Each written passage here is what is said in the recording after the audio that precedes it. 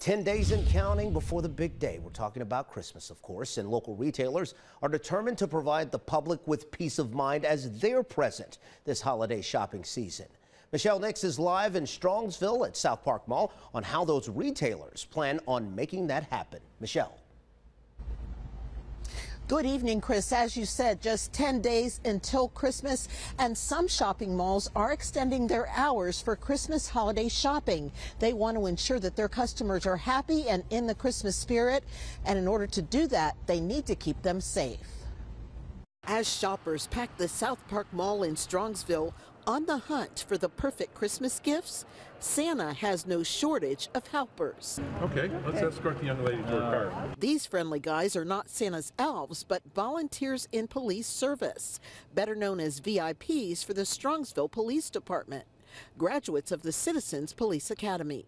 We hope you have a nice Christmas. Duke, a former colonel in the U.S. Air Force, volunteers along with others to escort shoppers with children and their hands full of presents safely to their cars. We're just here tonight to escort any shoppers that may feel a little apprehensive about going out to their cars uh, to make sure they get safely to their vehicles and have a good holiday. An added layer of security, armed only with watchful eyes, ears, and a police radio. We'll work in pairs and we take them out to their vehicle and uh, we're in contact with the dispatch center at all times so they know what we're up to and where we're going and how long we've been out. Okay. So an officer is a simple radio call away. This is the first night for the escort program at South Park, but Beachwood Mall and Great Southern Mall tell me they also escort customers to their cars. So, what do customers think about this? Uh, appreciation is real and um, all I can tell you is it makes everything safer. That's a great thing. So if you're at the South Park Mall, look for the escorts with an office in the food court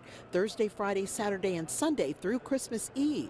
Security added not because of a safety issue, but to prevent one. Well, we all know that uh, crime, unfortunately, crime has been rampant and, and ramping up in a lot of our cities. Thankfully, Strongsville has not been affected that much, and we hope to keep it that way. Reporting in Strongsville, First, fair, everywhere. Michelle Nix, 19 News.